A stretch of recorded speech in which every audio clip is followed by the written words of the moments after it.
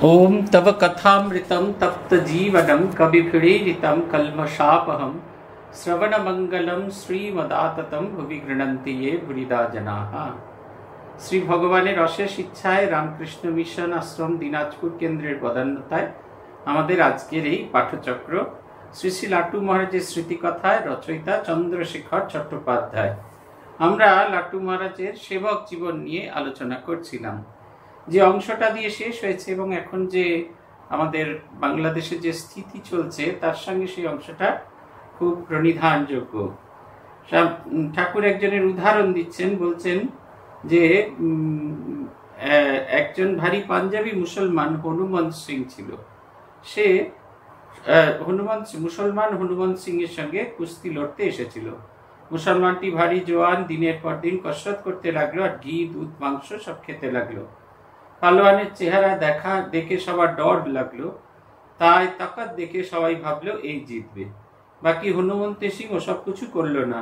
একদিন ওনার অর্থাৎ ঠাকুরের আশীর্বাদ নিষেধ নিতে এসে শুনে গেল যে, খাওয়া কমাতে হবে, কসরত কমাতে হবে আর দিনভর মহাবীরের জির স্মরণ নিতে হবে। তাঁর অর্থাৎ মহাবীরজির কৃপা হলে সব শত্রুর বিনাশ হবে। ঠাকুরের ওপর দরওয়ানজির খুব বিশ্বাস ছিল, তার কথা মেনে নিল। তাই কুস্তির দিনে তার জয় হলো। দেখো তো নামের কত শক্তি। তিনি হামেশা আমাদের তো হামেশা বলতেন নামের শক্তির চেয়ে বড় শক্তি আর কিছু নেই। এরা আমাদের তাদের জীবন দিয়ে দেখিয়ে গেছেন কেমন করে একটা উজ্জ্বল জীবন যাপন করতে হবে। এবং মনে হচ্ছে আমাদের পূজনীয় আহ, বিভাত্মানন্দজি এসে গেছেন। এবং এই এই যে এখন যে পরিস্থিতি তৈরি হচ্ছে এই পরিস্থিতি তো আমরা জোর করে কেউ বদল করতে পারব না, সময় রাষ্ট্রশক্তির যখন এই সমস্যা হয়, তখন আমাদের নিরন্তর প্রার্থনা করতে হয় মানুষের জন্য। সবার জন্য, সবার যেন ভালো থাকে, সবাই যেন কল্যাণ থাকে, সবাই যেন আনন্দে থাকতে পারে এবং এই যে একটা অদ্ভুত পরিস্থিতি চলছে, সেটা যেন সবাই পেরিয়ে যেতে পারে। এইখানে গিয়ে আমরা থামছি, থেমেছিলাম, তারপরের অংশ থেকে আমরা পড়ব। একদিন হাত ভাঙার সময়কার ঘটনা তিনি রাখাল বাবুকে আমার সাথে কুস্তি লড়তে দেখলেন। রাখাল বাবু আগে কুস্তি লড়তেন, বেশ জোয়ান ছিল, অম্বুবাবুর আখড়ায় যেত। কুস্তির সময় রাখাল বাবু আমাদের মাটিতে ফেলতে পারতো না, আমিও রাখাল বাবুকে নিচে নামাতে পারতুম না। তাই না দেখে ঠাকুর, উনি বললেন, ওগো, তোমাদের যে গজকচ্ছপের মতো যুদ্ধ চলছে গো। কেউ কাউকে হারাতে পারছ না, দুজনেই বরাবর যাচ্ছ। প্রসঙ্গটি শুনিয়া জনৈক ভক্ত একটি প্রশ্ন করিয়েছিলেন, দক্ষিণেশ্বরে আপনি কি বরাবর লড়তেন মহারাজ? লাটু মহারাজ তার উত্তরে বলেছিলেন, না, বরাবর লড়িনি। উনি মানা করবার পর থেকে আমাদের লড়া বন্ধ হয়ে যায়। প্রশ্ন হচ্ছে, উনি মানা করলেন কেন মহারাজ? লাটু মহারাজ বলছেন, আমার শরীর বড় শুকিয়ে যাচ্ছিল, তাই না দেখে একদিন তিনি বললেন, ওরে, এত রোগা হয়ে যাচ্ছিস, এখন আর বেশি কসরত করিসনি বেশি ধ্যান করলে, বেশি কসরত করা উচিত নয়। দুটো নিয়ে বেশি বাড়াবাড়ি করলে শরীর ভেঙে যাবে। তারপর থেকে আমি আর কুস্তি লড়তুম না, মাঝে মাঝে একটু ঠেলাঠেলি করতুম। তার অসুখের সময় একদিন মহিন্দের কবিরে শ্রী মহেন্দ্রনাথ পাল দেখতে এলেন। যাবার সময় রামলাল দাদার হাতে পাঁচ টাকা দিয়ে গেলেন। উনি কিছু জানতেন না। যেদিন রাত্রে দেখি, সেদিন রাত্রে দেখি তিনি বিছানায় শুয়ে ছটফট করছে। আমি অনেকক্ষণ বাতাস করলুম তবু তার ছটফটানি কমল না। শেষে আমায় বললে, যা তো, রামলালোকে ডেকে নিয়ে আয় তো। সে শালা নিশ্চয়ই কিছু নিয়েছে, তা না হলে রাতে চোখ বুঝছে না কেন? তখন হবে রাত একটা কি দুটা। আমি রামলাল দাদাকে ডেকে আনতেই ঠাকুর তাকে বললেন, যা শালা, যা। এখানকার জন্য যার ঠেঙ্গে টাকা নিয়েছিস, শিগগিরই ফিরিয়ে দিয়ায় রামলাল দাদা তখন ঠাকুরকে সব বললেন। সেই রাতে রামলাল দাদা আমাকে সঙ্গে করে কবরেজ মাসের বাড়ি গেল। তাকে ঘুম থেকে তুলে টাকা ফেরত দিয়ে এলো, জানো? এটা হচ্ছে আমাদের কাছে খুব ইন্সপায়ারিং পরপর দুটো ঘটনা। একটা হচ্ছে, শারীরিক কসরত এগুলো এগুলো শরীরকে ঠিক রাখার জন্য প্রয়োজন। কিন্তু যারা খুব বেশি ধ্যান, জপ, সাধন, ভজন করেন, তারা যদি বেশি শারীরিক কসরত করে ফেলেন, মস্তিষ্কের কসরত করাটা সহজ হয়ে ওঠে না। তাই শারীরিক কসরত করাটা একটা মডারেট ওয়েতে করা ভীষণ জরুরি। আপনারা আমাদের পরম পূজনীয় প্রেসিডেন্ট মহারাজকে দেখেন। পূজনীয় প্রেসিডেন্ট মহারাজ মন্ত্র দীক্ষা পেয়েছিলেন পরম পূজনীয় স্বামী জ্যোতিষরানন্দজি মহারাজে তখনকার দিনে যখন দীক্ষা হতো, তখন গুরুরা কিছু কিছু শর্ত আরোপ করতেন তাদের শিষ্যদের কাছে। যেমন কৈলাসানন্দজি মহারাজ তিনটি শর্ত আরোপ করতেন। নম্বর এক, সেটা হচ্ছে যে প্রত্যেক দিন যেই দুবেলার মধ্যে কোনো এক বেলা নিকটস্থ কোনো রামকৃষ্ণ কেন্দ্রে অথবা যেখান থেকে দীক্ষা হচ্ছে সেখানে এসে দুবেলার মধ্যে একবেলা জব ধ্যান করতে হবে। নম্বর এক। নম্বর দুই হচ্ছে আশ্রমকে সাধ্যমতো আর্থিক সাহায্য দিতে হবে। আর তিন হচ্ছে আশ্রমে আশ্রমে এসে কিছু কায়িক শ্রম করতে হবে। আমরা বারাসাত মঠে গিয়ে দেখেছি, ভোরবেলা একদম আমি এটা কোথাও কখনো দেখিনি, ভোরবেলায় প্রচুর লোক আসেন জব ধ্যান করতেন এরা কেউ কৈলাসানন্দজি শিষ্য নন কিন্তু এদের প্রপিতামহ, পিতামহ, তারা সব কৈলাসানন্দজি মাঝে শিষ্য ছিলেন। এই যে বাড়ির ভেতরে একটা ধারা তৈরি হয়েছে, সেই ধারা তারা এখনও বজায় রাখতেন। তেমনি জ্যোতিষারানন্দজি মহারাজের শর্ত ছিল, রোজ কিছু যোগাসন করতেই হবে ফিজিক্যাল এক্সারসাইজ করতেই হবে শরীরকে ঠিক রাখার জন্য। আমাদের পঁচানব্বই বছরের প্রেসিডেন্ট এখনও রোজ প্রায় চল্লিশ মিনিটের কাছাকাছি ফিজিক্যাল এক্সারসাইজ করেন। মহারাজের সারা জীবনের মধ্যে ওই যে চার মাস মহারাজের পা ভেঙে গেছিল পাঁচ ভাঙার জন্য যতটুকু বিশ্রাম থাকা, সেই ততটুকু ওই চার মাস বাদ দিলে মহারাজ সারা জীবন এই নিয়মের অন্যথা করেনি পূজনীয় ভজনানন্দজি তাকে আপনারা যারা দেখেছেন, দেখবেন ভীষণ রোগা মানুষ, কিন্তু তথাপি তিনি রেগুলার এক্সারসাইজ করেন। এবং রেগুলার এক্সারসাইজ করা আর এই যে প্রণাম করা, এইগুলো সব জ্যোতিষারায়ণজি শিষ্যদের জ্যোতিষারায়ণজি মহারাজ তার শিষ্যদের বলে গেছিলেন। প্রব্রাজিকা অমল প্রাণামাতাজি কথা কথাও শুনেছি। তিনিও নাকি এই ইয়ে করতেন, শারীরিক পরিশ্রম করতেন। কিন্তু যারা খুব বেশি সাধন ভজন, ধ্যান জপ করেন, তাদের পক্ষে খুব বেশি শারীরিক পরিশ্রম করাটা চলে না। সেক্ষেত্রে সেটা হিতে বিপরীত হয়। তখন শরীরে ভীষণ রকমের ক্লান্তি এসে যায়। ঠাকুর সেই কারণে বারণ করতেন। ঠাকুরের অপরিগ্রহতার প্রথম উদাহরণ আমরা দেখলাম। যে ডক্টর মহিন্দর কবিরাজ এসেছিলেন, তিনি এসে ঠাকুরের সেবার জন্য পাঁচটি টাকা দিয়ে গেছিলেন। এ সম্পর্কে ঠাকুর অবহিত ছিলেন না।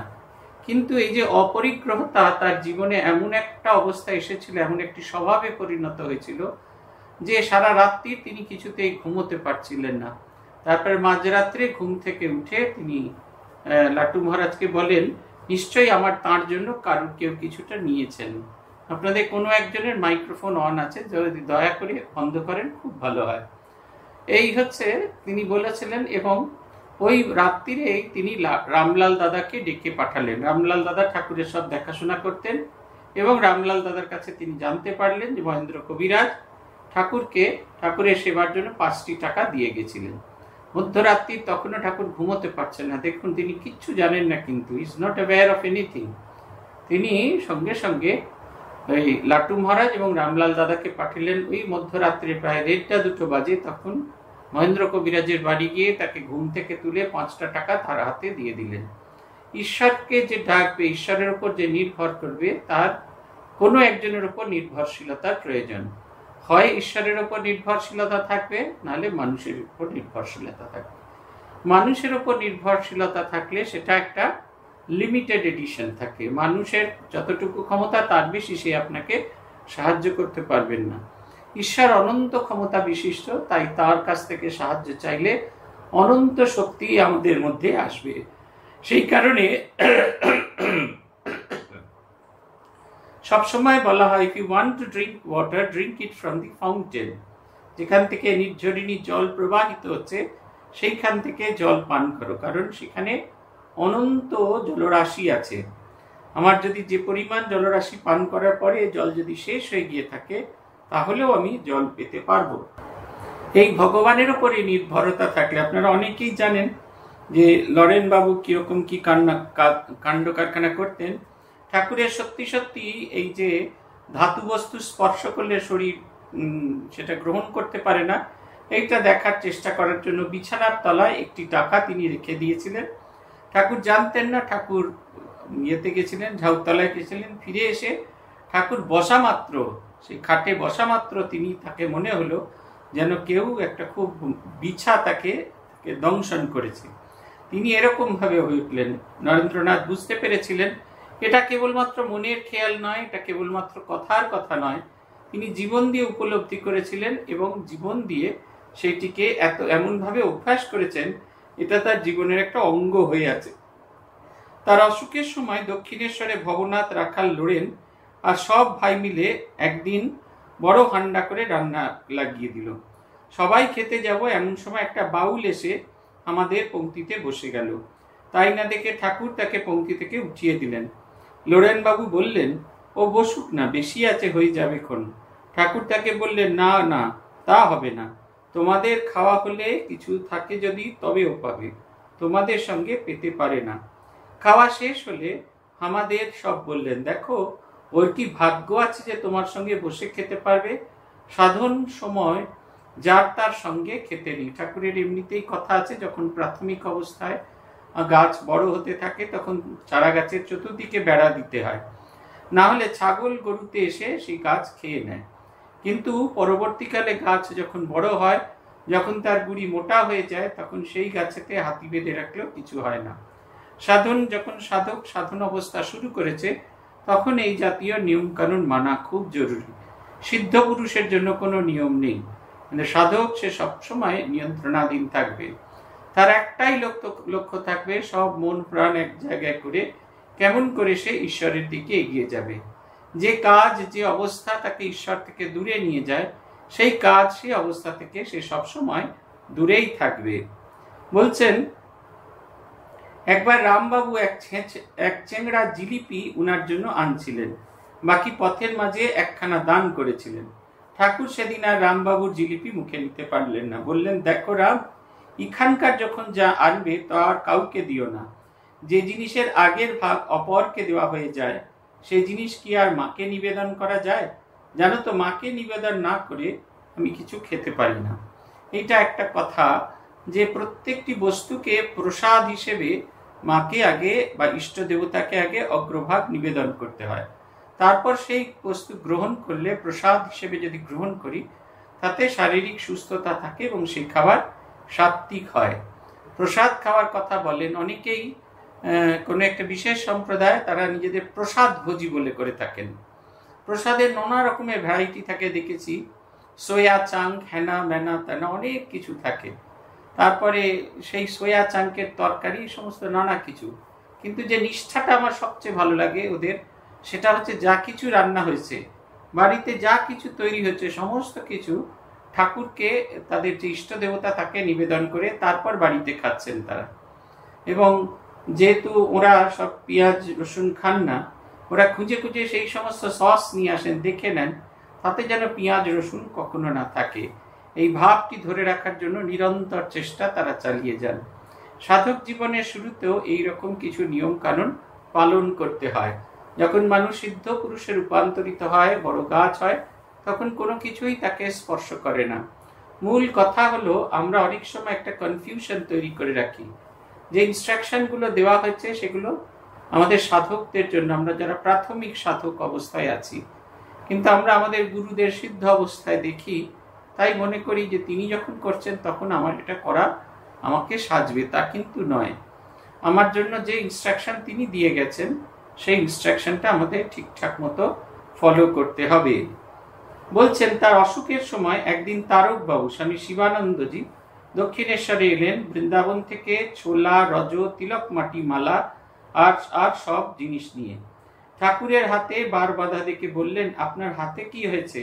ঠাকুর তাকে বললেন হেসে হেসে বললেন, চাঁদ মামা দেখতে গিয়ে পায়ে তার বেঁধে পড়ে গেছে, হাতে সামান্য চোট লেগেছে, এখনও তার জেদ চলছে। তারকবাবু আমাকে বললেন, হাড় সরে গেছে না ভেঙে গেছে? ঠাকুর তাতে বললেন, কি জানি বাবু, কি হয়েছে? ওরাই তো আষ্টে পিষ্টে বেঁধে দিয়েছে। একটু যে আরাম করে মাকে ডাকবো জো নেই। এইসব বাঁধা গোথা খুলতে দেবে না। বলো তো, এমন করে বেঁধে দিলে কি আর মাকে ডাকতে ইচ্ছা হয়? মনে হয় না, এও একরকম খেলা চলছে। এরা মাঝে এরও মাঝে রসকস আছে। এইসব শুনে তারকবাবু বললেন, আপনি তো ইচ্ছে করলেই ভালো হয়ে যেতে পারেন। ঠাকুর তাই শুনে বললেন হ্যাঁ ইচ্ছে করলেই ভালো হয়ে যেতে পারি? এই কথা বলে কিছুক্ষণ চুপ করে বসে রইলেন। পরে বললেন, না, রোগের ভোগই ভালো। এখন যারা সব কামনা বাসনা নিয়ে আসছে নিয়ে এখানে আসছে, তাই দেখে, তাই এই দেখে ভেগে যাবে। আমায় আর বেশি বিরক্ত করবে না। পরক্ষণেই বলছেন মা, কি কৌশল করেছিস গো মা? তারপরেই গান আরম্ভ করে দিলেন। গান গাইতে গাইতে সমাধি হয়ে গেলেন। এই দেখুন, শ্রীরামকৃষ্ণের এই যে হাতে বাড় বাঁধা, তার যে ক্যান্সার এই সমস্ত কিছুই কিন্তু একটা ছল। এটা একেবারে ভীষণ রকমের ছল। তুরিয়ানন্দজি ঠাকুরের অন্তিম সময় ঠাকুর তুরিয়ানন্দজিকে বলছেন, বড় কষ্ট, মাকে বললে একটু যেন কষ্টটা একটু কমে। তুরিয়ানন্দজি হাসতে হাসতে বললেন, বলছেন কি, আমার তো মনে হচ্ছে আপনি খুব আনন্দে আছেন। ঠাকুর হাসতে হাসতে বলছেন, শালা, বুঝে ফেলেছে। ঠাকুরের এই যে বাহ্যিক ছল, এই দেখে আমরা অনেক সময় যারা সাধারণ মানুষ নানা রকম কামনা বাসনা নিয়ে আসি, তারা আর আসতে চাই না। ভাবি, এ তো আমারই মতো রোগ ভোগ করে, আমারই মতো। আমার, এর কাছ থেকে কি করে আর জিনিসপত্র চাইব? তাই তারা দূরে চলে যান। প্রভু মহারাজের জীবনের একটি ঘটনা আছে, একজন ব্রহ্মচারী ট্রেনিং সেন্টারে তিনি খুব কষ্ট পাচ্ছেন তার বাতের ব্যথায়। ভীষণ রকমের কষ্ট পাচ্ছেন। রোজ সন্ধ্যাবেলায় তখন প্রভু মহারাজ প্রণাম নিতেন সাধু ব্রহ্মচারীদের। সন্ধ্যারতির ঠিক পরে, সন্ধ্যারতির পরে সবাই গুরুকে প্রণাম করে, ঠাকুর প্রণাম করে জব ধ্যান করতে বসত। সেই রকম একদিন প্রভু মহারাজ প্রণাম নিচ্ছেন, আর এই ব্রহ্মচারীটি প্রণাম করতে করতে ভাবছে যে গুরু তো সমস্ত শক্তি এই ব্যাধি ট্যাধি নিয়ে নেন, আমার এই যে কষ্ট, এই কষ্টটা যদি তিনি নিয়ে নেন তাহলে খুব ভালো হয়। তিনি মনে মনে ভেবেছেন, কাউকে কিছু বলেননি। প্রণাম করে তিনি ট্রেনিং সেন্টারে ফিরে গেছেন। তারপরের দিন থেকে নোটিশ এলো যে প্রভু মার্জের শরীর খুব খারাপ। প্রণাম হবে না। সাধারণ এই আমাদের ভক্তদের এবং সাধু ব্রহ্মচারীদের প্রণাম হবে না। মহারাজ এমন অসুস্থ হয়ে পড়লেন বেড রেডিন হয়ে গেলেন। কিন্তু মজার কথা এই এই সাধুটি ধীরে ধীরে সুস্থ হয়ে যেতে লাগলেন। তিন দিন প্রভু মহারাজ ভীষণ ভুগলেন। তিন দিন কোনো রকম দর্শন প্রণাম হলো না। চতুর্থ দিন যখন প্রণাম হচ্ছে তখন সেই ব্রহ্মচারী যখন তাকে প্রণাম করছে, তার শরীর সুস্থ হয়ে গেছে, প্রণাম করছেন। প্রভু মহারাজ তাকে দেখেই বলছেন, গুরুর কাছে সবসময় উচ্চ আধ্যাত্মিক জিনিসকে চাইতে হয়। এই শারীরিক ব্যাধি মোচন এটা নিজের নিজেরই হয়ে যাবে। কিন্তু যে মনের যে ব্যাধি মোচন সেটা যদি না হয়, তাহলে আমাদের শরীর যদি সুস্থ থাকে, আমরা কিছুতেই ভগবত সমীপে যেতে পারব না। এই সমস্ত যে আমার পরবর্তীকালে এদের দেখে মনে হয়েছে, ভীষণভাবে দেখে মনে হচ্ছে, যে এরা যে তাদের যে যে ব্যাধিটা, এটা সবটাই একটা শো আমরা যাতে আমাদের মতো করে তাকে মনে করি। আমাদের যে বছর সন্ন্যাস হচ্ছে, পূজনীয় রঙ্গনাথানন্দী মহারাজ এত অসুস্থ, প্রথম যেদিন আমাদের সঙ্গে ওনার দেখা হলো, নাক দিয়ে অটবরত জল পড়ছে। একটা রুমাল ওনার পকেটের মধ্যে খানিকটা ভেতরে ঢুকিয়ে খানিকটা বাইরে ঝুলিয়ে রাখা থাকতো সেই দিনই নাক মুচ্ছেন আর আমাদের প্রণাম নিচ্ছেন। আনন্দে ভরপুর হয়ে আছেন। বলছেন, তোমাদের সব সন্ন্যাস জীবন যাতে ভালো হয়, তার জন্য তিনি আমাদের প্রার্থনা করছেন। কিন্তু তারপরের দিন থেকেই মহারাজ এত অসুস্থ হয়ে পড়লেন, আমাদের আর মহারাজের সঙ্গে দর্শন হলো না। যেদিন সন্ন্যাস হবে, তার আগের দিন সন্ধ্যায়, রাত্রিরে। আমাদের তখন শ্রাদ্ধাদি হয়ে গেছে। তখন চাওয়া হচ্ছে অন্তত সন্ন্যাসের দিন যাতে সাধু ব্রহ্মচারীদের দর্শন হয়। মহারাজ এতই অসুস্থ, মহারাজের পক্ষে কোনোভাবেই আমাদের দর্শন দেওয়া সম্ভব হলো না। আমাদের যেহেতু শ্রাদ্ধ হয়ে গেছে, তাই সন্ন্যাস অনুষ্ঠান হবে। পূজনীয় গহনানন্দজি, গীতানন্দজি এবং আত্মস্থানন্দজি স্বামী রঙ্গনাথনজিকে অনুরোধ করেছিলেন যে, ব্রহ্মচারীরা তার কোয়ার্টারে আসবে সন্ন্যাসের যাবতীয় অনুষ্ঠান করার জন্য, তারপর আবার ফিরে যাবে। একটু আগে থেকে অনুষ্ঠান হবে, কিন্তু রঙ্গনাথানজি রাজি হলেন না। আমরা অপেক্ষা করে আছি। যখন আমরা সন্ন্যাস নিতে গেলাম, গিয়ে শুনলাম যে পূজনীয় রঙ্গনাথানজি আসবেন। তবে অনুষ্ঠানের একেবারে শেষে যে সময়টা তাঁর যে ক্রিয়াকলাপগুলো আছে সেইগুলোর সময় তিনি আসবেন। তা তিনি খুব অল্প সময় থাকবেন, তাই মন্দিরে তাকে ওই সাষ্টাঙ্গ বড় করে প্রণাম করা যাবে না। এইটা শুনে আমাদের একটু মন খারাপ হলো, আবার আনন্দ হলো যে মহারাজ আসবেন। মহারাজ এলেন। আমরা মহারাজকে প্রণামও করছি, কিন্তু মহারাজকে দেখে বোধ হচ্ছে না মহারাজ এতখানি অসুস্থ। মহারাজের সারা শরীর দিয়ে যেন আলো ঝরে পড়ছে। মহারাজ বসে আছেন, আমাদের সঙ্গে মজা করছেন ওইখানেই মন্দিরে। আমাদের যাবতীয় শিক্ষা কর্তন যাবতীয় মহারাজের কাজ সেগুলো করছেন। হাতে ইয়ে করে তুলে দিয়েছেন। তপতি ঘোষ আপনার মাইক্রোফোন অন হয়ে গেছে। তারপরে এই যে আমাদের হাতে সমস্ত গেরুয়া বস্ত্র তুলে দিচ্ছেন, আমাদের মন্ত্র দীক্ষা দিলেন। আমরা মহারাজকে প্রণাম করে, ঠাকুরকে প্রণাম করে বেরিয়ে এলাম। তারপরে যখন আমাদের নামকরণ হচ্ছে, গুরু পূজা হচ্ছে সেখানেও মহারাজকে একদম জ্যোতির্ময় মূর্তিতে দেখলাম। মহারাজ আমাদেরকে একটি উপদেশ, একটি মাত্র উপদেশ দিয়েছিলেন। Sadhu's life is life of peace, be in peace and keep others in peace. সাধুর জীবন, শান্তির জীবন নিজে শান্তিতে থাকবে অন্যদের শান্তিতে রাখবে। এর পরের তিন দিন পূজনীয় রঙ্গনাথানজির সঙ্গে আমাদের দেখা হয়নি। তৃতীয় দিন মহারাজকে হাসপাতালে ভর্তি করা হলো, তখন ভীষণ রকমের প্রাণ সংশয় এসে উপস্থিত। অথচ যে সময় মহারাজ আমাদের সামনে শেষবারের মতো হেঁটে ঘরে চলে গেলেন, তাকে আর পাঁচজন মানুষের মতোই সুস্থ, স্বাভাবিক মনে হচ্ছিল। তারপরে যখন তিনি বিছানায় শুয়ে আছেন, তাকে এক ঝলক আমার দেখার সুযোগ হয়েছিল। তাকে দেখে এত অসুস্থ মনে হচ্ছিল যে মানুষটা মন্দিরে এসেছিলেন আর যে মানুষটা এখন বিছানায় শুয়ে আছেন, এই দুটো মানুষ যেন সম্পূর্ণ আলাদা বলে বোধ হচ্ছিল। এই যে আজকে বলছেন না যে ঠাকুরের ভীষণ রকমের ওই ঠাকুরের হাত বাঁধা রয়েছে তার মহাপুরুষ মহারাজ ফিরে এসছেন, মজা করে বলছেন যে আপনি তো ইচ্ছে করলেই ভালো হয়ে যেতে পারেন। ঠাকুর সাইশ্রী বলছে হ্যাঁ ইচ্ছে করলেই ভালো হয়ে যেতে পারি। এই কথা বলে কিছুক্ষণ চুপ করে রইলেন। তারপরে বলছে না, রোগের রোগের ভালোই ভালো, ভোগই ভালো। এখন যারা সব কামনা বাসনা নিয়ে এখানে আসছে, তারা এই দেখে, তারা এই দেখে ভেগে যাবে। আমায় আর বেশি বিরক্ত করবে না। তারা ভাববে, আরে, এ লোকটা নিজের অসুখ ঠিক করতে পারে না। এ কি করে আমাদের ইয়ে করবে? আমরা অনেক সময় শুনেছি, অনেকের কাছে শুনেছি। আমাদের কোনো একজন সঙ্গগুরু, খুব অল্প পিরিয়ডের প্রেসিডেন্ট ছিলেন। তিনি যখন, তিনি কিন্তু মন্ত্র দীক্ষা দিতেন এবং মন্ত্র দীক্ষা যখন দেওয়া হতো, আমরা দেখেছি মানুষজনের একেবারে সম্পূর্ণ বদল হয়ে যাচ্ছে তাদের দেখেছি অত অসুস্থতার মধ্যে যখন দীক্ষা দিতেন সেই গুরু শক্তি তার ভিতর দিয়ে যে কাজ করতো, শ্রীরামকৃষ্ণের শক্তি যে কাজ করত, সেটা ভীষণভাবে বোঝা যেত। কিন্তু অনেকেই অন্যরকম কথা বলতেন, আরে, নিজেই চলতে পারে না, হাঁটতে পারে না, ফিরতে পারে না। ইনি কি করে আমার দায়িত্ব নেবেন? যে ঠাকুর যে বলছেন এই কথা আমরা এখনও শুনি। ঠাকুর বলছেন, পরক্ষণেই তিনি বলছেন, মা, এ বেশ কৌশল করেছিস গো, মা। যে মা এক ধরনের কৌশল করে তাকে রক্ষা করেছেন। মা যেরকম তার সন্তানকে তার আঁচল দিয়ে রক্ষা করেন, এই রোগ যন্ত্রণার আঁচল দিয়ে মাতাকে রক্ষা করেছেন। যাতে সবাই তাকে না বুঝে তাকে না চিনে নিতে পারে। এটা হচ্ছে কথা। একদিন দক্ষিণেশ্বরে তার ঘরে একজন বড় বিষয় লোক এসে বিষয় কথা কইতে লাগলেন। তাই না শুনে ঠাকুর বললেন, এখানে এসব কথা নয়। খাজাঞ্চিখানা দেখাইয়া ওইখানকে যাও। লোকটি তার কথায় ওইখানে গেল। তখন ঠাকুর হামায় বললেন, ওরে, ওই কোণে গঙ্গা জল আছে, ছিটিয়ে দেনারে শালা কাম কাঞ্চনের দাস, এই জায়গায় বসে সাত হাত মাটি নোংরা করে দিলে। বেশ ভালো করে গঙ্গা জল ছিটিয়ে দে। এটা হচ্ছে কথা, যেখানে আমরা ভগবান লাভ করব বলে এসেছি। ভগবান লাভ করাটাই আমাদের উদ্দেশ্য। বিষয় চিন্তা করলে চলবে না।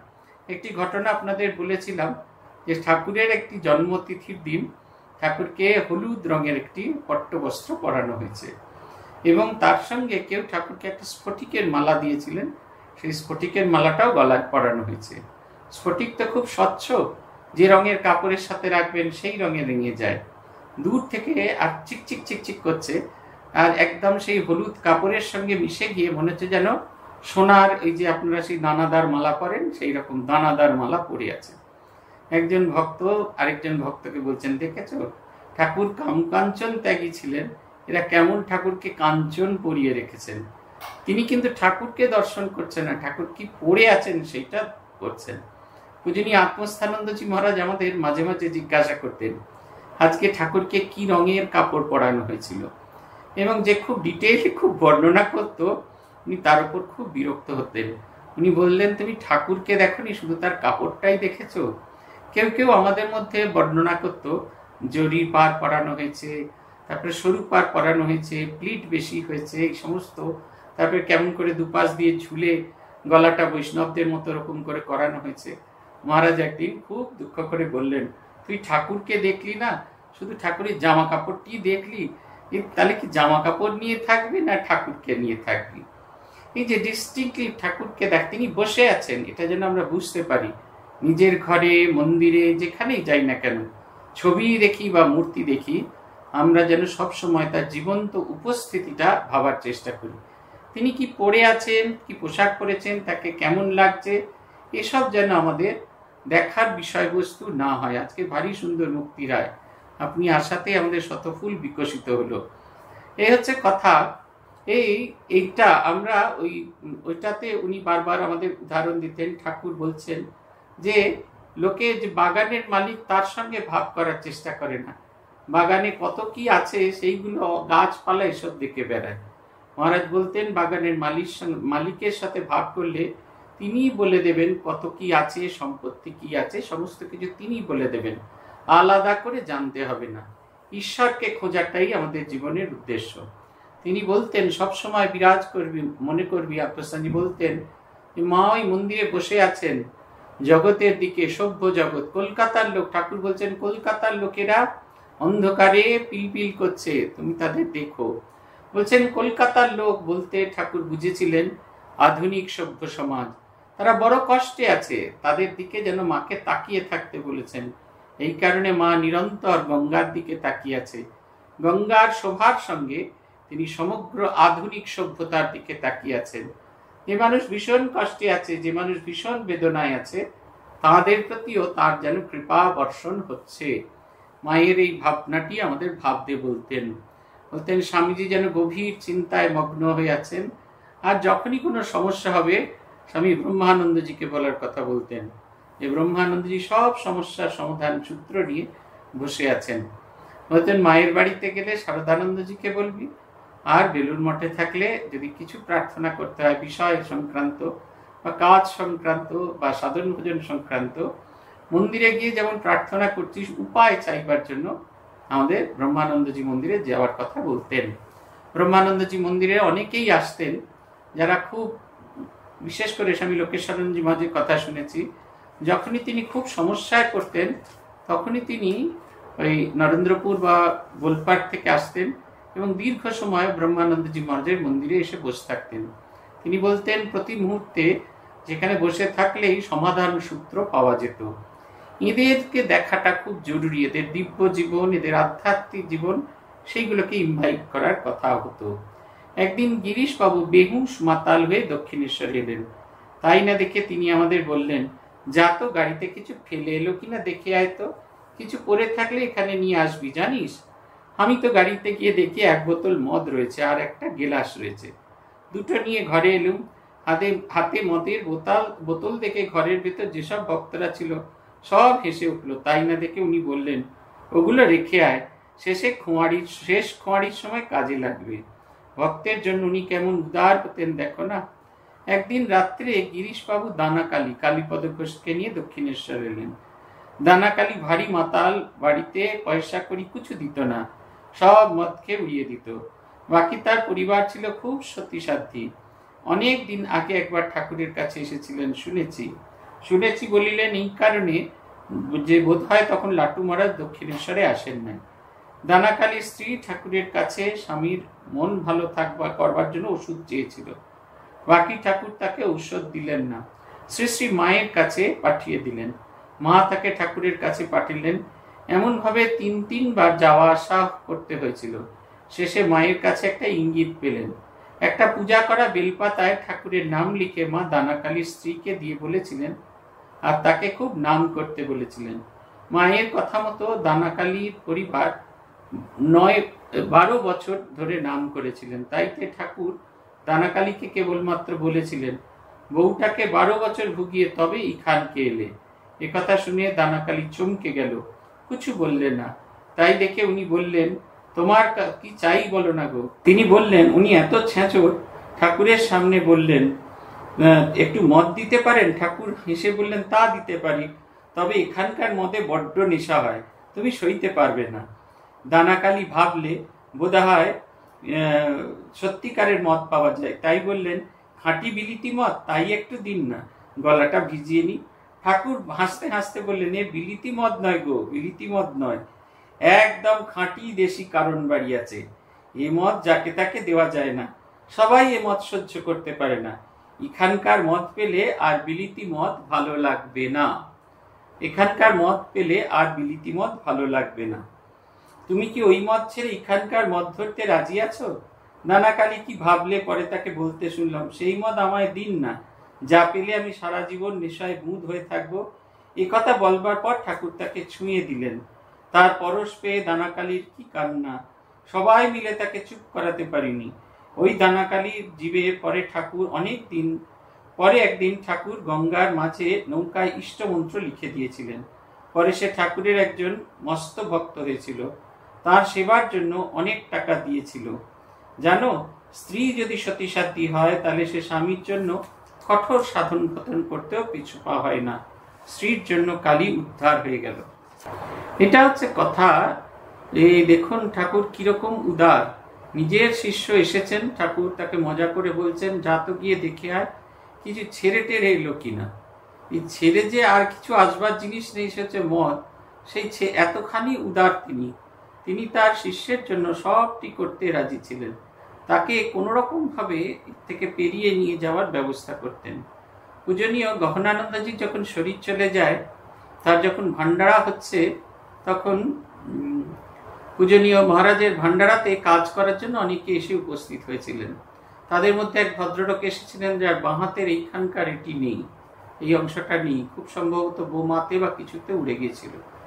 তাদের মধ্যে একজন আমাকে বলেছিলেন, উনি নন, আরেকজন বলেছিলেন যে গহনানন্দজির কাছে গিয়ে তিনি তার দুঃখের কথা বলতেন। বলতেন, বেশিরভাগ দিনই দুপুরবেলা গিয়ে পৌঁছতাম। মহারাজের কখন খাওয়া হবে তার কোনো ঠিক নেই। আমি আমার নিজের দুঃখের কথা, বেদনার কথা মহারাজকে বলতাম। মহারাজ হু হু হু করে আমার কথা শুনতেন। তার সেবকরা এসে মাঝে মাঝে আমাকে বকাছকা দিত। মহারাজকে উঠে যাওয়ার জন্য অনুরোধ করত, কিন্তু মহারাজ কখনো কোনো অবস্থাতেই উঠে যেতেন না। তিনি আমার সঙ্গে কথা বলতেন। এবং এই কথা বলতে বলতে বলতে একটা সময় অনুভব করলুম, আমার আর নতুন করে মহারাজকে কিছু বলার নেই। আমার সব কথা বলা হয়ে গেছে। এবার মহারাজ বলতে শুরু করলেন আর আমার জীবনটাকে পরিবর্তন করতেলেন এই যে আমরা দানাকালির ঘটনাটা, এটা তাই দেখি। তিনি ঠাকুরের কাছে মত চাইছেন এবং এ নিয়ে তার এতটুকু দুঃখ নেই। স্বয়ং নিজের অবতার পুরুষ গুরু তার কাছ থেকে চাইছেন। ঠাকুর বলছেন এখানকার এক ধরনের মদ আছে যে মদ খেলে ভীষণ রকমের নেশা হয়। এবং সেই মদ তোমাকে দেওয়া যাবে কি যাবে না, এই মদ খেলে তুমি আর অন্য কিছু করে উঠতে পারবে না। তাই সেই মদ শ্রীরামকৃষ্ণকে দিলেন, সে হচ্ছে আনন্দ বাড়ি কারণানন্দ। সেই আনন্দ বাড়ি তিনি স্পর্শ করে তার মাথায় দিলেন এবং যখন তিনি স্পর্শ করলেন, তখন তার এত আনন্দ হতে থাকল তার ভেতরের যে অন্তর্নিহিত আনন্দ, সেটির প্রকাশ দেখা গেল। সে ভীষণ রকমের কাঁদতে শুরু করল এবং একেবারে নিজের ভাবে বিভোর হয়ে গেল। শ্রীরামকৃষ্ণ জীবনের এইটার কথা আমরা দেখেছি। আমরা যে বাইরের নেশা টেশা করি তার কারণ হচ্ছে আমরা নিজেদের ভেতরের আনন্দ জেনারেট করতে পারি না। এই কারণে আমাদের বাইরের নেশার প্রয়োজন হয়ে থাকে। আমরা যদি নিজেদের ভেতরের আনন্দ জেনারেট করতে পারি, তাহলে আমাদের বাইরের নেশার দরকার হয় না। সহজ করে বোঝানোর জন্য বলি, আপনার বাড়িতে কোনো উৎসব হবে, আপনি ইলেকট্রিসিটি সাপ্লাই অব্যাহত রাখার জন্য এই জেনারেটর নিয়ে এলেন। যখন আপনাদের সঙ্গে আমি কথা বলছি, এই সময় আমাদের ইলেকট্রিসিটি চলে গেছে। যতক্ষণ না জেনারেটর চলবে, ততক্ষণ পর্যন্ত আমার এই আর্ধেক অংশটা অন্ধকারই দেখতে পাবেন আপনারা। তা সেই জেনারেটর এই যে, আলো এসে গেছে। জেনারেটর চালানো হয়েছে। জেনারেটর দিয়ে যে মুহূর্তে লোডশেডিং হয়ে গেল, সঙ্গে সঙ্গে আপনি জেনারেটর চালিয়ে আপনার বাড়িকে আলোকিত করতেন। কিন্তু এই যে এতক্ষণ ধরে আপনার সাথে কথা বললাম আনইন্টারাপ্টেড সার্ভিসে বলতে থাকলাম, তার কারণ হচ্ছে ওখানে আরেকটা জিনিস লাগানো আছে, একটা ব্যাটারি লাগানো আছে।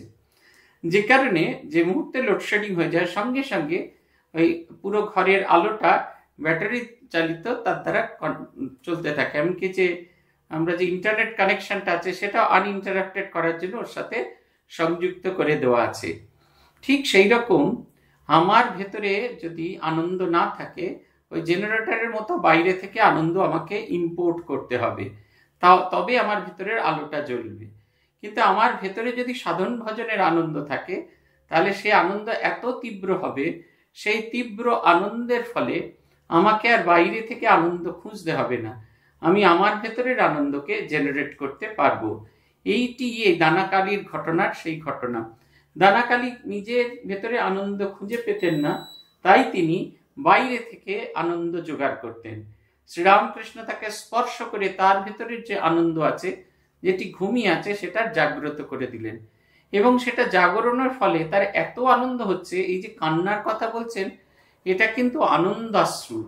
অনেক সময় আনন্দে আমরা হাউ হাউ করে কাঁদি। সেই আনন্দের ঘটনা অশ্রুর কথা বলছেন। ঠাকুর যেন আনন্দতে তাকে বিভোর করে দিলেন। ধীরে ধীরে ধীরে ধীরে তার ভেতরে পরিবর্তন হলেন। কিন্তু এই পরিবর্তনের পেছনে একজন মহিলার হাত ছিল। দানাকালী স্ত্রী। তখনও দানাকালীর সঙ্গে ঠাকুরের পরিচয় হয়নি। দানাকালী স্ত্রী সেই পবিত্র মানুষের কাছে এসছেন তিনি যদি কিছু উপায় বলে দেন, তাহলে তার বিপদগামী স্বামী যেন একটু পথ খুঁজে পান। আমাদের কলকাতা একটা সময় ছিল এরকম একজন মানুষ ছিলেন, লেক কালীবাড়ি বলে আপনারা জানেন লেক, কলকাতার লেক অঞ্চল। সেখানে একটি কালীবাড়ি ছিল, সেখানে একজন সাধক ছিলেন। অনেক এইরকম মায়েরা সেখানে যেতেন, আমরা দেখেছি। তারা সেই সব নানা রকম কি, মন্ত্রপুত সিঁদুর, মন্ত্রপুত, কাজল, মন্ত্রপুত, পুষ্প, ফুল এসব নিয়ে আসতেন। তিনি ওই রকম দানাকালীর স্ত্রী গেছিলেন। ঠাকুর তাকে বললেন, ওই যে নববতে একজন আছেন। নববতে যিনি তিনি ঠাকুরের কাছে ফেরত পাঠালেন, এরকম যাওয়া আসা করতে করতে শেষাল, শেষকালে মায়ের তার প্রতি কৃপা হলো। মা সেই পূজিত বেলপাতার ওপর ঠাকুরের নাম লিখে ওর হাতে দিলেন এবং বললেন, তাকে পুজো নাম জপ করতে, ভগবানের নাম জপ করতে। দ্বাদশ বছর ধরে তিনি ভদ্রমহিলা নিষ্ঠার সঙ্গে তার স্বামীর কল্যাণের জন্য প্রার্থনা করে গেছেন। এবং দ্বাদশ বছর পরে, বারো বছর পরে ঠাকুরের সঙ্গে দানাকালীর দেখা হলো এবং সেই ঘটনাটির তিনি উল্লেখ করেছিলেন।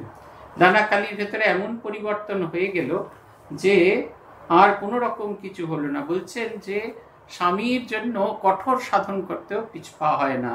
এই কারণে বাইরের বাড়ির মায়েদের, আপনারা যারা সেকেন্ড ক্লাস সিটিজেন বলে মনে করেন, একটু সাবধানে এইসব জিনিস ভাববেন। মায়েরা হলেন আমাদের সমস্ত সংসারের মাঝখানের যে মেরুদণ্ড, মায়েরা যদি না থাকে, সেই স্ট্রাকচারটা থাকে না, ভেঙে পড়ে।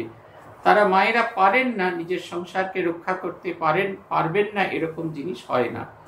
অনেক সময় কোনো পরিবারে বাবা বা মানে ফাদারলি ফিগাররা চলে গেলে, অনেক সময় একটু আর্থিক কষ্ট হয়, কিন্তু মা চলে গেলে সংসারটা একবারে ত্রস্তবস্ত হয়ে যায়। মা সংসারকে ধরে রাখেন। সন্তানের উন্নয়নের জন্য মা পারেন না করতে এরকম কিছু নেই। মায়েদের প্রতি আমাদের এই ঋণটা থাকা ভীষণ জরুরি। হাত ভালো হলে একদিন তিনি আহিরিটলায় বারোয়ারি দেখতে এসেছিলেন। গাড়ি করে আস্তে আস্তে দু চারজন স্ত্রীলোককে দেখলেন। খুব সেজে গুজে দোরগোড়ায় দাঁড়িয়ে আছেন।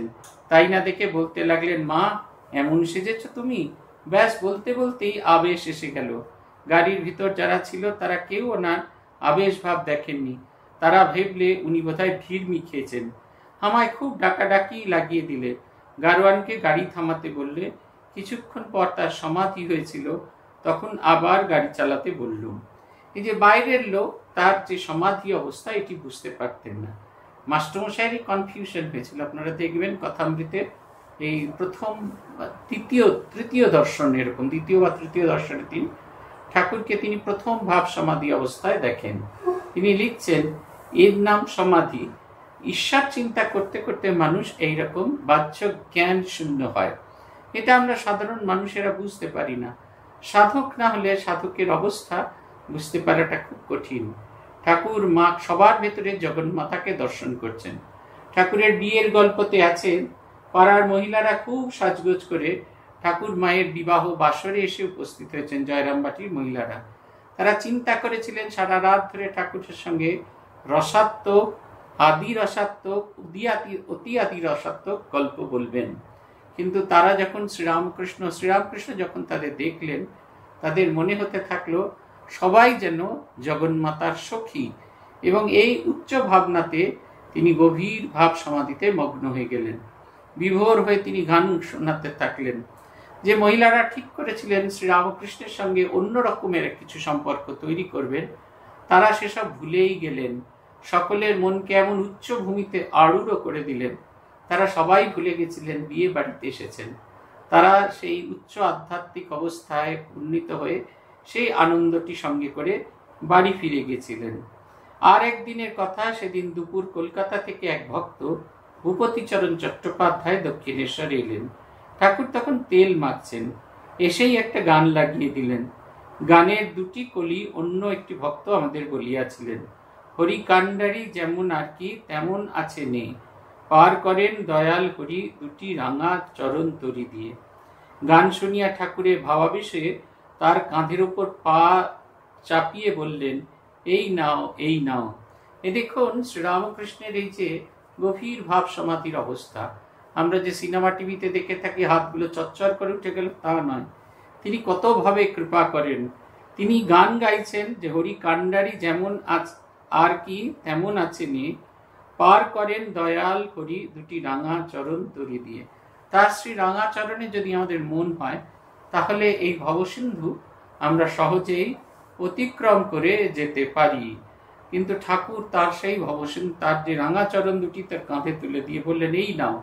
একেবারে কোনো রকম অর্থের বিনিময় নয় কোনো রকম প্রাপ্য কিছু চেয়ে কিছু তিনি দেননি। তিনি বুঝতেন যে যে জিনিস তাকে দিতে হবে, যে জিনিসে মানুষের ভেতরে আধ্যাত্মিকভাবে উন্নতি হয়, সে দেবার জন্য কখনো তিনি এতটুকু পরাণমুখ হননি। এবার আমরা যে প্রসঙ্গে আসিতেছি তাহার ঠিক কোন বৎসর ঘটিয়াছিল জানি না। অনুমানের ওপর নির্ভর করিয়া আঠারোশো চুরাশি সালের ঘটনার সঙ্গে সন্নিবেশিত করলাম। একদিন ঠাকুর কলকাতা হইতে দক্ষিণেশ্বরে যাইতেছেন। গাড়ির ভিতরে আছেন আমাদের রামলাল দাদা। ও পরমহংসদেব এবং গাড়ির চালে কচুয়ানের পাশে আছে সেবক লাটু। পথে যেতে যেতে ঠাকুর কাশীপুরের কাছে বললেন, ওরে লেটো, গাড়িটা থামাতে বল। গাড়ি থামিবা মাত্র ঠাকুর রামলাল দাদাকে বলেছেন, ওরে, আমার যে বড্ড খিদে পেয়েছে। তোর কাছে কিছু আছে? যা না ফাগুর দোকান থেকে গরম গরম হিঙের কচুরি ভাজিয়ে নিয়ে আয়। ঠাকুরের কথা মতো রামলাল দাদা কচুরি ভাজিয়ে আনতে গেলেন। আর এদিকে সেবক লাটু বিশেষ প্রয়োজনে বিশেষ প্রয়োজনে জঙ্গলের দিকে একবার গিয়াছিল। উভয়ে ফিরিয়া আসিতে বোধ হয় মিনিট পাঁচেকের বেশি লাগে নাই। ইতিমধ্যে ঠাকুর গাড়ি হইতে বাহির হইয়া আপন মনে একদিকে চলিয়া যাইতেছেন। উভয়ে আসিয়া দেখেন যে ঠাকুর গাড়িতে নাই, নিকটে কোথাও তার দেখা নাই। তখন উভয়ে তার অনুসন্ধানে গেলেন। অল্পক্ষণ পরে রামলাল দাদা ঠাকুরকে দেখতে পাইলেন। রামলাল দাদার নিকট শুনিয়া সইতে শুনিয়া নিম্নলিখিত কথাগুলি লাট্টু মহারাজ আমাদের নিকট পরবর্তীকালে বলিয়াছেন। জানো, রামলাল দাদাকে উনি যত ডাকেন, রামলাল দাদা উনাকে যত ডাকেন, উনি কোনো জবাব দেন না, কেবল হন হন করে এগুতে থাকেন। শেষে তার নাগাল পাপ ধরবার জন্য রামলাল দাদাকে দৌড় দিতে হয়েছিল। তার হাত ধরে বললেন, কোথাকে যাচ্ছেন? গাড়িতে চলুন। তিনি এমন ভাব দেখালেন যেন রামলাল দাদাকে চিনতে পারছেন না। শেষে অ্যাঁ অ্যাঁ করতে লাগলেন। তখন রামলাল দাদা বললেন, আমাকে গরম কচুরি আনতে বলে আপনি কোথাকে যাচ্ছেন? গরম কচুরি খাবেন না, চলুন। একথা বলবার পর তিনি গাড়িতে ফিরে গেলেন। সেই থেকে আমাদের মধ্যে কেউ একজন তার কাছে সদা সর্বদা থাকতেন। এটা হচ্ছে মানুষ এই মাত্র এটা দেখার জিনিস। এই মাত্র তিনি বিষয় বাসনা করছেন। এই যে স্বামীজি বলছেন না গরু কখনো মিথ্যে কথা বলে না, চোর কখনোই দেওয়াল কখনো চুরি করে না। কিন্তু গরু গরুই থাকে, মানুষ, আর দেওয়াল দেওয়ালই থাকে। মানুষ মিথ্যা কথা বলে, মানুষ চুরি করে, সেই মানুষই দেবতা হয়। অবতার পুরুষ যেন এইটি আমাদের জীবনে দেখানোর জন্য দেখাচ্ছেন। এই তিনি বিষয় রস ভোগ করার জন্য বলছেন। গরম গরম দোকান থামিয়ে, দোকানের সামনে গাড়ি থামিয়ে ফাগুর দোকান থেকে গরম গরম কচুরি কিনে আনতে বললেন। ফাগুর দোকান এখনও ঠিক ওই জায়গাটায় তারা অত সাইনবোর্ড দেয়, আমি ঠিক জানি না তারা ফাগুর বংশধর কিনা। আপনারা যখন বরানগর, ওই সিথির মোড় থেকে বরানগর বাজারে ঢুকছেন রাউন্ডটা যেখানটায়, ওই কর্নারের দোকানটা ফাগুর দোকানের কচুরি। ওখানে সকালে কচুরি পাওয়া যায় এবং বিকেলে নানা রকমের চপ টপ এসব জিনিসপত্র হয়, নিরামিষ জিনিসপত্র সেখানে পাওয়া যায়। তো সেই সেখানে তিনি কচুরির দোকান থেকে গরম কচুরি আনতে বললেন। এর মধ্যে লাট্টু মহারাজ যিনি ওপরে বসেছিলেন, ওপর থেকে নেমে বাথরুমে গিয়েছেন। ফিরে এসে তারা কেউ ঠাকুরকে গাড়িতে খুঁজে পেলেন না। রামলাল দাদা এদিক ওদিক ছোটাছুটি করতে করতে ঠাকুরকে দেখছেন যে ঠাকুর তীব্র গতিতে এগিয়ে যাচ্ছেন। এত তীব্র গতি, ঠাকুরকে বারবার ডাকা সত্ত্বেও ঠাকুর কিছুতেই সেই অবস্থাতে ফিরে আসতে পারছেন না। দেখুন, এই খানিক্ষণ আগে ইনি গভীর ভাব সমাধিতে মগ্ন ছিলেন।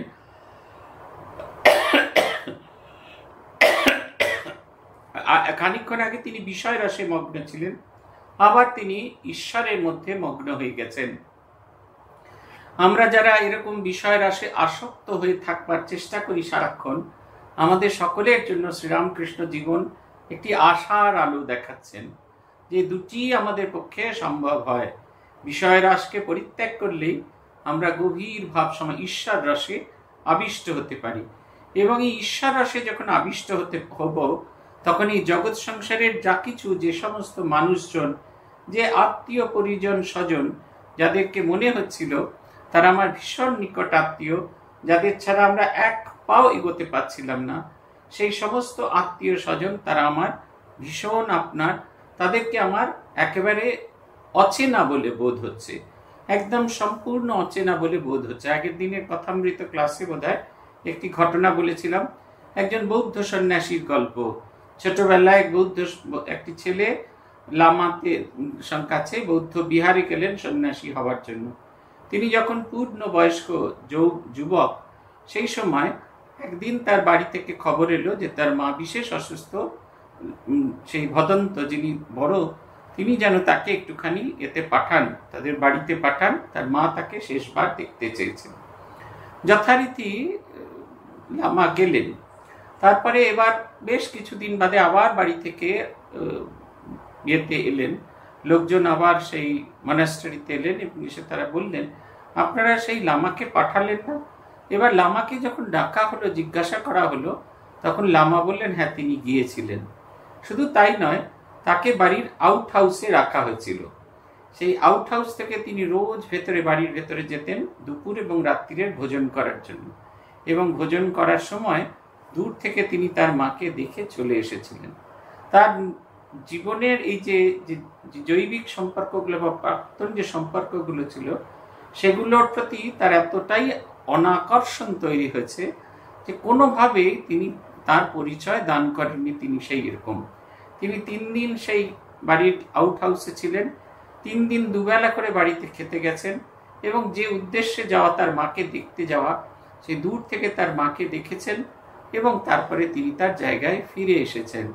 ঈশ্বরী যেই যে সম্পর্কগুলো যে আমাদের থাকে, যেগুলোকে মনে হয় যেগুলো ছাড়া আমরা এক পাও এগিয়ে চলতে পারব না, যেগুলো সম্পর্কগুলো না থাকলে আমরা বেঁচে থাকতে পারব না এই ভাবনাটা যে সত্য নয়, এই ঘটনাগুলো সেইভাবে আমাদের পরিচয় দেয়। দেখবেন সত্যি তো, যদি এরা যখন চলে যায়, এদের ছাড়াও তো আমাদের জগৎ চলবে। অনেকে মনে করে সেদিনকে একজন বলছিলেন, কি করি মহারাজ? ইচ্ছে তো করে না, সংসারের বিষয়ের ভেতরে আসক্ত হই। কিন্তু আমি ছাড়া যে ওদের আর কেউ নেই। কালকেই যদি তিনি মারা যান, তিনি ছাড়াও এই জগৎ চলবে এবং আগের চেয়েও হয়তো ভালো করে চলবে। এই সত্যটাকে আমাকে আমরা যতক্ষণ না বুঝতে পারব, সংসারের আসক্তি ততদিন আমাদের বেঁধে রাখবে। এবং সংসারের আসক্তি যতদিন আমাদের বেঁধে রাখবে, ততদিন বিষয় বাসনা আমাদের ওপর রাজ করতে থাকবে। শ্রী শ্রী ঠাকুরের কাছে প্রার্থনা, আমাদের ভেতর যেন এই ভাবনাটি আসে। আমরা যেন তাকে, সেই তাকে যেন লাভ করার জন্য নিরন্তর চেষ্টা করতে থাকি। এই বিষয় বাসনা যেগুলি কোনো দিনই আমাদের সঙ্গে থাকবে না, কোনো কালই আমাদের সঙ্গে থাকবে না, সেগুলোকে পেরিয়ে গিয়ে আমাদের ভেতরে যেন জগন্মাতাকে দেখবার ইচ্ছাটা হয়। ছোট শিশু সকালবেলা সাজগোজ করে মায়ের কাছ থেকে বেরিয়ে পড়ে, নানা আনন্দ, নানা মজার ভেতরে সে নিজের দিনকে কাটাতে থাকে।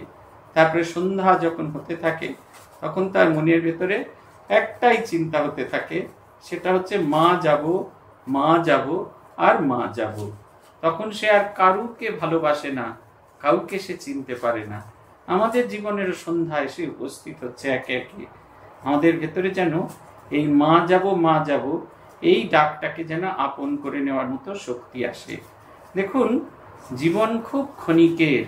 এই যে এখন যেখানে যে আশ্রমের হয়ে বলছি আমরা, আমাদের বাংলাদেশ আশ্রমের বাংলাদেশের যে এখন অবস্থা, এটা দেখলেই আপনারা বুঝতে পারবেন আজকে কেউ রাজা হয়েছেন, কাল তাকে চাইলে সময় যদি তা চায়, তাকে ছুঁড়ে ফেলে, রাস্তায় ফেলে দেবে। এই জীবনে কোনোটাই আমাদের শেষ কথা নয়। সব রাজপাট, সমস্ত কিছু ফেলে আমাদের চলে যেতে হবে। এই এই ঘটনাগুলো যে ঘটছে, এগুলোর মূলে আছে আমাদেরকে একটা বোঝানোর জন্য, একটা যেন শিক্ষা দেওয়ার জন্য ভগবান যেন এই পরিস্থিতিকে সৃষ্টি করেছেন।